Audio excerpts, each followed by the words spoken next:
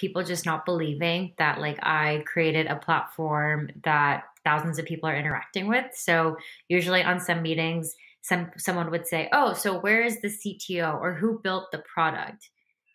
Hello, I'm right here. I'm sitting right in front of you. It's me. This is Boss Ladies.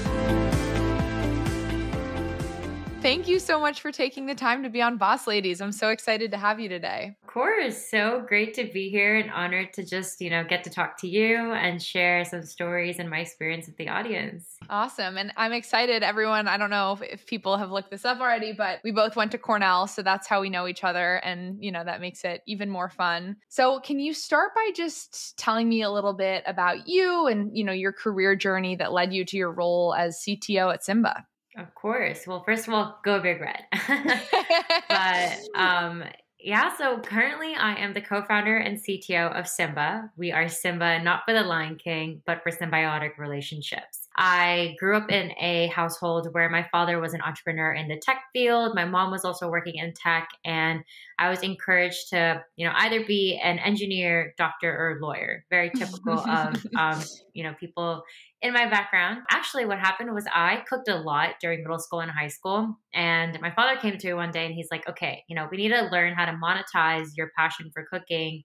and let's try something out. So I actually coded my first website called nikitaskitchen.com, and that was my first exposure into computer science.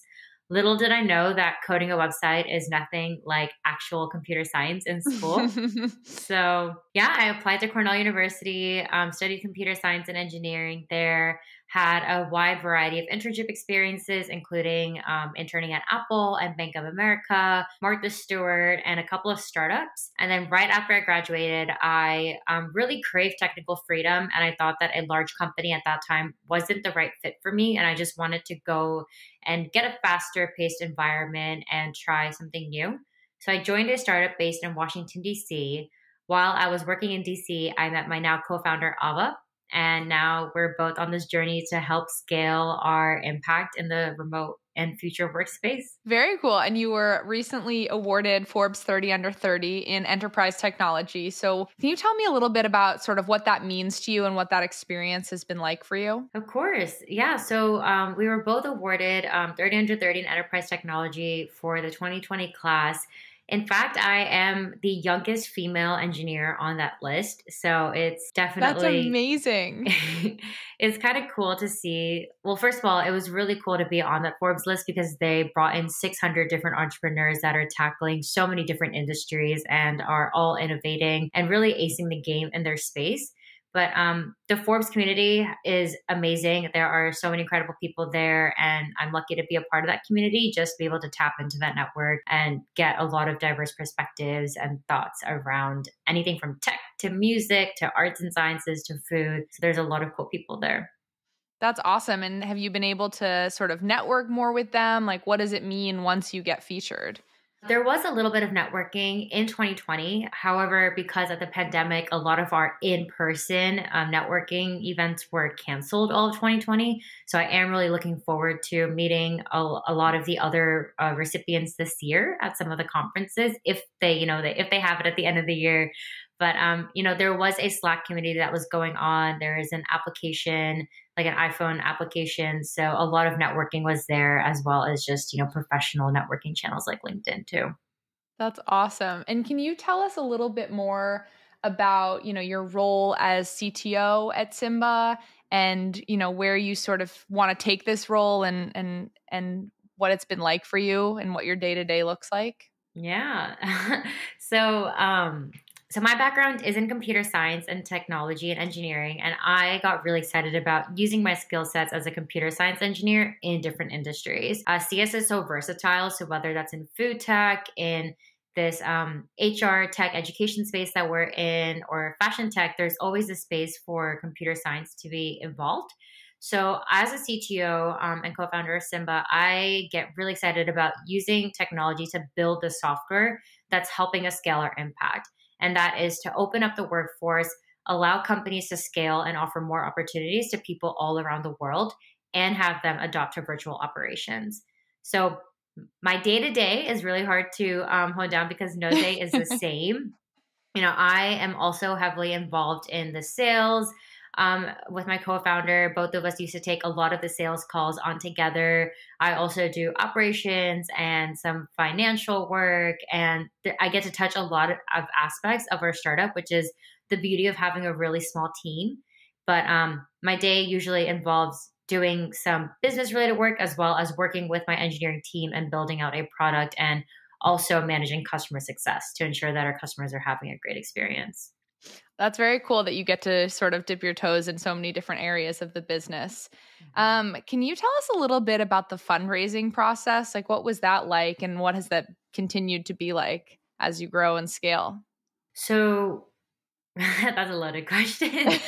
um, it was challenging. It's not easy. So, Symba, we were part of a couple of accelerator programs um, throughout the beginning stages of our journey. And then just last summer, we raised a seed round with amazing investors. And those were investors that we built relationships with even six months to a year prior to us raising that round. And these were people that were true advocates of the work that we were doing, um, supported our team, supported our mission, and were really excited about just what Symba had to offer to the world. But the fundraising process itself was very challenging. Um, as a woman of color, as a female in technology, it was not easy. I feel that if someone else had been in my place and had just pitched the idea of Symba, they would have received money instantaneously. But for both my co-founder and I, even though we had traction, we had big, you know, sexy customers, we had revenue and like a growing team, it was still very it, it was a lot of effort into proving why we were doing and what we were doing and what our mission was. And that was a challenge to fundraising. It was also during the pandemic time where people weren't sure of where to funnel in their money. So I think that could have caused a lot of like imbalance in that fundraising space. But, you know, eventually we learned that a lot of investors were willing to invest money and especially into the future of workspace. But now we are gearing up to raise our Series A over the next quarter. So really excited to be reconnecting with investors and launching a, you know, launching our vision and making a larger impact with Symba any investors listening, feel free to uh, reach out after this. Um, no, that's that's awesome that you were able to sort of rise above those challenges. And like you said, I think the pandemic has really complicated any sort of investment in anything right now. I think people are being extra cautious and careful with good reason. So it makes a ton of sense. But I want to dive back into sort of being a woman in tech and and you know, you talked a little bit about how that's been challenging and it's been challenging fundraising and being a woman of color can you share some of what, like some of what those challenges are and and strategies that you're using on a day to day to try and overcome those yeah. Um, so one example is people just not believing that like I created a platform that thousands of people are interacting with. So usually on some meetings, some someone would say, "Oh, so where is the CTO or who built the product?"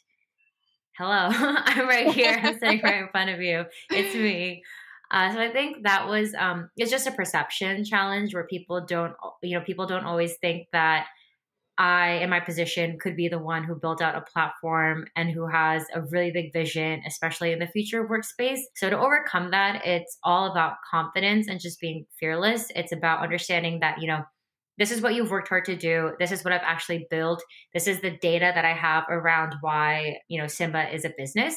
And this mm-hmm. is you know why you should like this is why you can be a part of the journey. And i think towards the end of our investing um or sorry at the end of our fundraising journey we shifted our mindset and we you know we really came to the conclusion where you know investors are lucky to be a part of Symba's journey and to get a piece of our pie.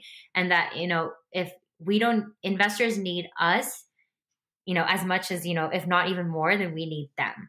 And i think that was really important for that was like a key learning point for us because that helped us shift our focus and really just elevate our confidence into why you know we believed in the work that we were doing and the impact that we could have over the next 5 10 15 you know plus years Absolutely. And what what like are some suggestions you might have for other people in similar shoes? Uh, maybe not necessarily uh, at the startup level, but maybe just being a woman in tech in general and, and being in a male dominated space in general. Mm-hmm. The biggest tip around that, well, so one of my um, advice is always follow your gut and not the recipe. And even as like a chef, I never really followed the recipe. I my mom was always afraid of me burning the house down.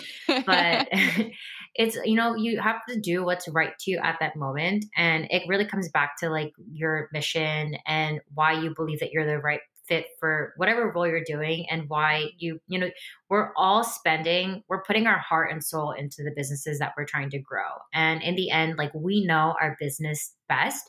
No one else can tell us how to run it. No one else has been in our shoes before. And i think because of that we all have we owe it up to understand and admit that like our perspective is true and that like what you feel is the right way to approach something you should go for it so I think it just stems from confidence. Obviously, you know, if you have a mentor or advisor who is really advising something or advising against something because they know that XYZ can, you know, happen because of it, then heed that advice or take that advice. But in the end, just, you know, if you truly believe in the work that you're doing, you will most likely be able to, you know, put yourself in that path of success and be confident about what you're doing. You ch- touched on mentorship there for a second. Can you tell us about some of your mentors and some of the advice that they've given you? Yeah. So, my all time mentor of life is my father. He's like my cheerleader. He is the one who has inspired me to pursue a career in technology. He was supporting me in the early stages of Symba um, in terms of like providing knowledge on how to launch a software platform or how to um, ensure that our customers are having a great experience. So um, I think throughout different stages of our startup journey, I've been able to touch and meet or like, you know, touch upon or just meet different types of mentors, whether that's a mentor in helping us with sales or with customer success strategies or giving us advice on how to build a robust technical platform. Mm-hmm. And um, unfortunately, I don't have that many female tech leaders to look up to. And I hate to say it, but I cannot think of someone who is a female CTO that has been in a similar path or has a background like I do. And I'm still on the verge of it. So would love to connect with anyone that can give advice. And it's definitely been a journey, but I've met a lot of other incredible female entrepreneurs, other female leaders that are tackling and acing in different industries across the world. And I've taken, you know, I've taken, whenever you meet someone, there's always one thing that you end up taking, for, like, end up learning from them. And I feel like I've learned tidbits of some different advice from a lot of people. And that's something that I've applied towards my journey as being um, in Symba. Yeah. I mean, as you say that, I'm thinking about it too, right? Like, all my managers in tech have been men most of my i think all of my mentors have been men yeah. yeah it's it's tricky to find that visibility so i think it's amazing that you're you're paving the way for for other young women to look up to you you know in their careers so that's awesome and what about you touched on you were the youngest you said i believe of the forbes 30 under 30 class what has that been like you know as you've been going through this process not only you know, handling being a woman in tech, but also being a young woman in tech. Is that added any challenges or, you know, question based on lack of time in the industry? I think age is just a number. so agreed. Um, I think I think it really is it depends on the industry and the business that you are working in because our sim or well because Symba was first focused in the remote internship space we are recent interns ourselves. You can't have a 50 year old man telling us, no, this is the way that internships would work because I was just an intern a couple of years ago and I was, I went firsthand through that experience. So being young helped in understanding why like how to build out Symba. In fact we built out Symba in the perspective of an intern and then built it from bottom up rather than thinking about like the legacy tools and the different hr platforms that are out there and that have existed for you know 50 plus years. So that helped in that sense. But yes definitely people think um, do you have enough experience? Do you know what it's like to close a um, X amount of dollar deal, or do you know what it takes to do marketing? And I think that if you're really interested um, in the work that you're doing, you'll find ways to learn those tools. So, mm-hmm. yes, my computer science education helped me. My internship experiences helped me. I'm still learning every day when it comes to building Symba's products. So, you know, as long as I'm willing to go and learn new skills that I can apply to my work, then I think it's fine. Having an ex like having years of experience underneath my belt doesn't really define who you are it's you know mm-hmm. what you're learning to make sure that you're able to consistently keep doing what you're doing at your role Absolutely. Do you have allies in the space that that you've been able to sort of team up with whether at Symba or outside of Symba that have helped overcome some of these challenges? Helped you overcome these challenges? It all comes down to like mentors, so getting professional advice from them, getting some of my friends from Cornell and um, also friends in San Francisco who are computer science engineers and just great software engineers. They've helped me with some of my issues while I was building out the product. So they are allies. Um, and again, in the end, it really comes down to like finding a person who's so good at their job, regardless of their age. I mean, come on, there are 14 year olds who are amazing software programmers. So when it comes to computer programming, especially, I can't really look at age as anything defining.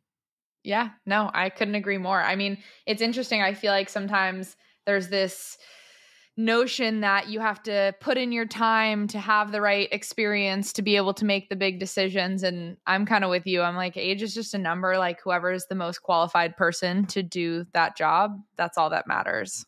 I mean, definitely like the more time that you spend on something, the better you're going to become at it. But mm-hmm. at the same time, like when you make, if I make a mistake earlier in my career while I'm, you know, for example, closing a sales deal, then I've learned so much from that. And then you apply that knowledge for your next deal. And I think that that's part of the journey is like going through these experiences, learning as much as you can, absorbing as much as you can, and then from there applying the right or, you know, the right methods based on your mm-hmm. experiences. Yeah, so true. So I want to jump topics um, again to to celebrate you because you were also featured in Crunchbase as one of the nine, sorry, one of nine South Asian female entrepreneurs changing the game. How, like, what does that mean? And, and tell me more about sort of how you are, you know, paving the way for the future boss ladies behind you. Thank you for that shout out. Um, so yes, like it's been an honor to be on that list. Um, there are you know with the other eight South Asian leaders that were in the beauty space in tech as well.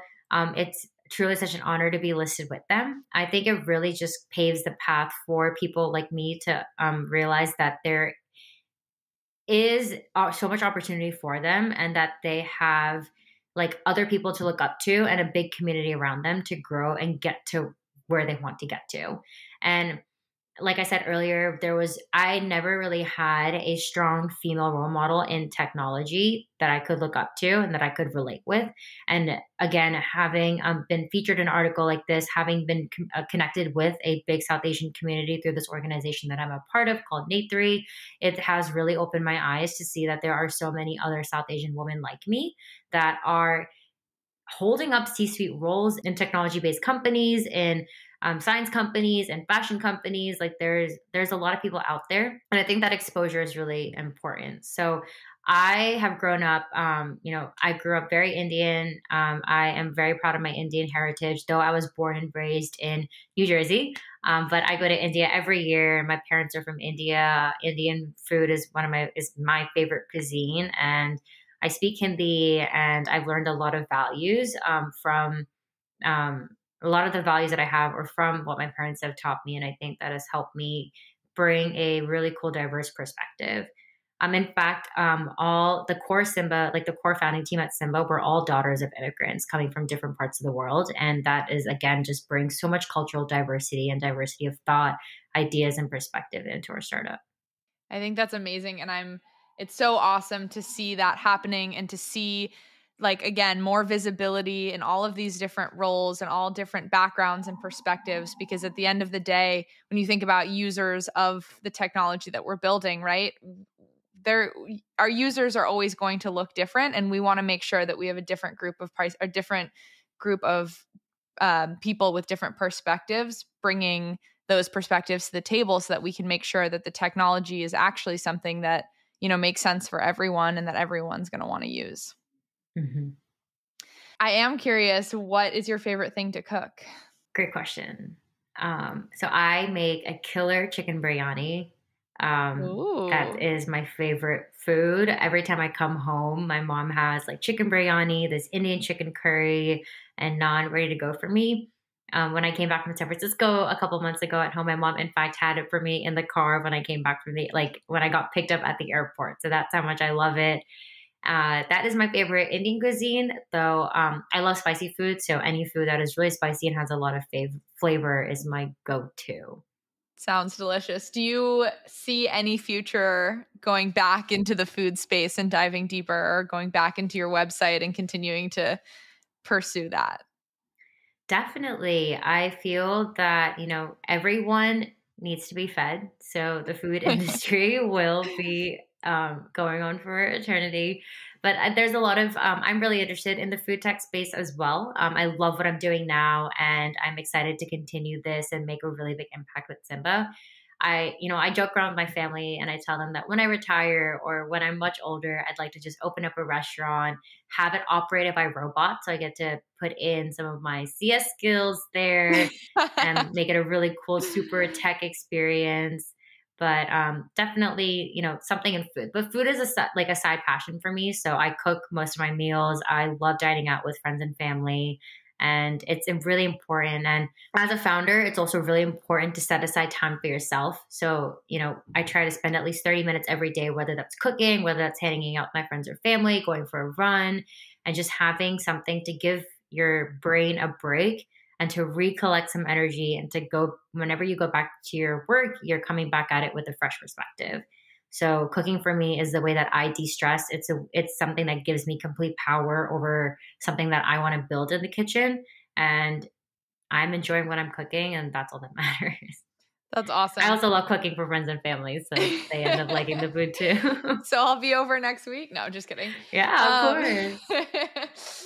um no i think that's amazing and and i can only imagine you know it as someone who is working at a startup and it sounds like you're filling so many different roles and wearing so many different hats that the work life balance is not always easy to manage so i'm mm. it's awesome that self-care and you know cooking and finding ways to take time for yourself has helped are there any other strategies you recommend for managing work life balance, especially when I, I don't know, you know, if your hours are really set, but it sounds like it's one of those things that you probably are are working many different hours and many different time zones and yeah so our team actually just had a conversation about this last friday. Um, one thing that the pandemic has um, you know forced us to do is live in our space at home. We can't go out and work at coffee shops or co-working spaces anymore.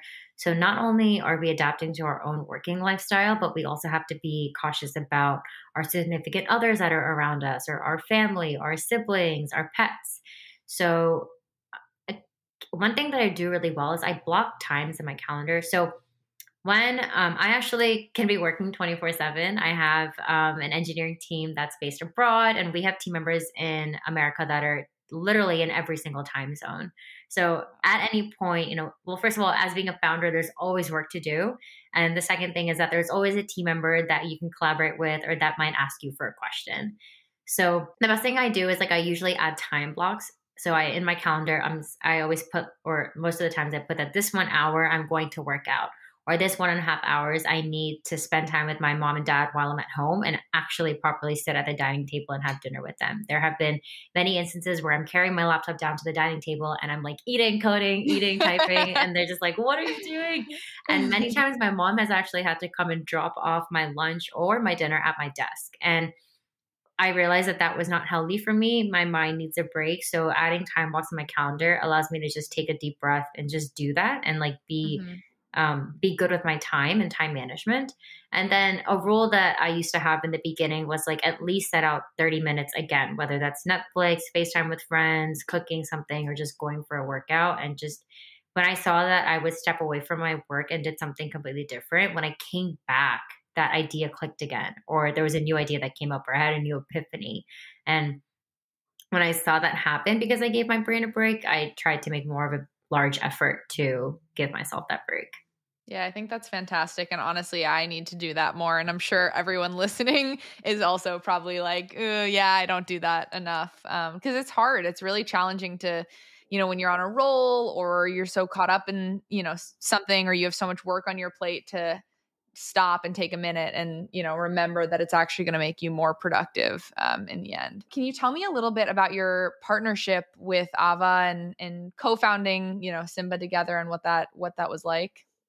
Yeah, so we were both living in DC back in 2017, 2018. Um, in the beginning of 2018, I met her at a Woman at Tech conference that was hosted in Washington, D.C. Uh, she was wearing a really pretty blazer. We both have discussed how we have to like frame that blazer sometime in the future at our office. It was like multicolored and tweed. Um, and I saw her and I just complimented her blazer. We were sitting at a round table, and after that discussion ended, I complimented the blazer, and then immediately we like kicked into conversation. She was telling me about how she um, used to be a fellow with um, late Congressman John Lewis and how she created this action project that was a marketplace and a place for students to have access to remote internships. And she was um, one of the first remote interns for the US Department of State as well. And at that time, I was like, you know, this is so cool. Internships for me have helped me define what I want out of my career and has really like helped me understand what's good for me, what's not good for me, what it's like to actually be in the tech space. Mm-hmm. So yeah, I was like, you know what, I'd love to help out, try, you know, try working, you know, try building out Symba for you because she was actually also trying to scope out a technical partner and our, or co-founder. And luckily we both connected. She asked me how what would it take to build out something like this? And I got interested and I wanted to help her out part time. And then when I realized that this is something that I wanted to go full time at, I joined Symba full time. Um, my parents were really supportive. They allowed me to come back home for six months. Um, I was staying at home with them, building Symba out, and then we both. She also moved back to her home as well with her family, and then we both ended up making the move to San Francisco. In San Francisco, we both lived together, so we're best friends. We worked out together, we cooked dinner together, we were working together, and I think that really added um, a great strong bond to our like co-foundership, to our friendship as well. So we have like both that business relationship balance and just the friend relationship balance too but yeah, um, both of us are constantly taught. We're 24 7, constant communication. Um, we're very aligned in our mission. Um, we're really good at what we do. So we have full trust on like she takes over what her responsibilities are. I take over what my responsibilities are. When we have disagreements, we're very um, practical about it. So we understand like what are the pros, what are the cons of each decision, and then are able to make decisions based off of that. So yeah, Sounds like a been, great partnership. incredible. Yeah, and she's also Iranian. So she um very similar background like I have, and both of us have a lot of values and traditions that have also carried forth from our family, which has also helped strengthen our bond as well.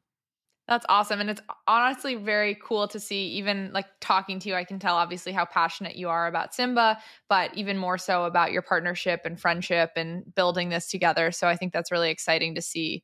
Um, and I'm excited to, you know, watch Symba and see what happens. So I want to wish you the best of luck. But the last question I want to ask you quickly before you go is I always like to end on a positive note. So I know I've talked about a couple of them um, and mentioned a couple of them throughout the interview, and you've shared shared them as well. But can you share with us what you feel is one of your greatest accomplishments so far?